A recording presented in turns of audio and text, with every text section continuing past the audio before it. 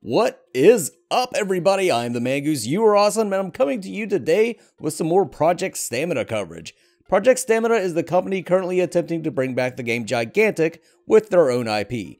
Specifically, I wanted to talk about their latest development livestream that featured gameplay. Their own hero Matani on their own map designed to resemble Gigantic's Canyon map.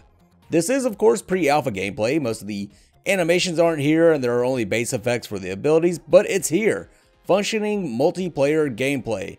This isn't the first one that we've seen from them. They have showcased some rudimentary gameplay before with like placeholder stick figures and some other Paragon assets, but this really shows how far they've come since that time with their own character models in a much better looking environment.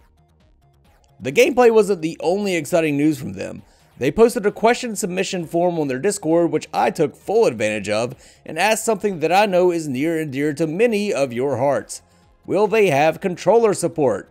And the answer is yes. They've already been working on it and some of the functionality has already been implemented and tested.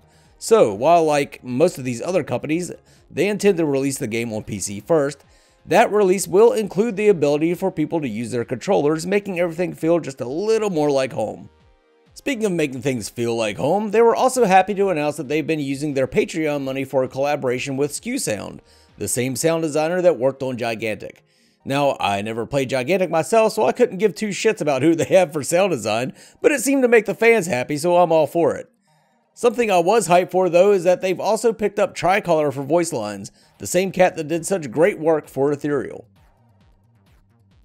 And then we have the big question, will it be on console? Now, they really didn't cover this much during the stream, but it is a question that they've answered for me before. They will bring the game to console if there is a large enough community in place for that system. That could be PlayStation, Xbox, or even Stadia. The answer I was given during my last video on this project was that switching the game from one console to the other was as simple as using a drop-down menu in the Unreal Engine. Now, that answer didn't quite sit well with me. I know there's a lot more that goes into porting a game to console than checking a box, so I followed up on that. What I found is that they've been doing the work to make the game easy to port over, and that drop down thing is just a culmination of that effort. So they have been doing the work and making it ready for console. Those were probably the biggest takeaways from the stream, but there was a lot of other information released as well. They plan to have six playable characters in the alpha, they want esports to occur naturally instead of being forced, and many, many other questions from gameplay to programming to developing were answered. If you're interested in this game, I highly encourage you to check out the video on their YouTube channel. I'll have it linked at the end. While I never played Gigantic, Project Stamina has me incredibly hyped for their game.